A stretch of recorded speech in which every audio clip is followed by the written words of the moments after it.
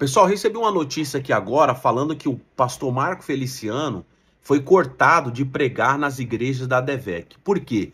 Porque ele declarou apoio a Pablo Marçal aqui em São Paulo e ele fez até um comentário sobre as acusações, ataques que o pastor Silas Malafaia tem feito a Marçal aqui em São Paulo.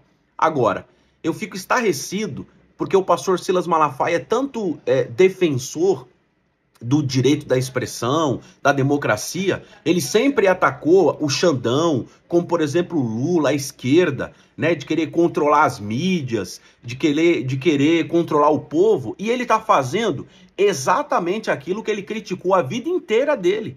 Ou seja, todas as pessoas ou pastores que apoiam Marçal aqui em São Paulo, ele ataca, ele critica, até o Nicolas, o Nicolas, que será um, um, um futuro presidente da República, Nicolas, que foi o deputado mais votado da história do Brasil, ele atacou o Nicolas.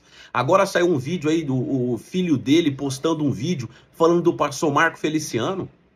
Olha, realmente eu estou decepcionado com essa atitude do pastor Silas Malafaia. Eu simplesmente percebo de que tudo aquilo que ele enfrentou, que ele lutou, que ele dizia que era, ele era contra, na verdade, ele é igual. Essa que é, é a realidade. Eu tô certo ou eu tô errado? Deixa aqui nos comentários.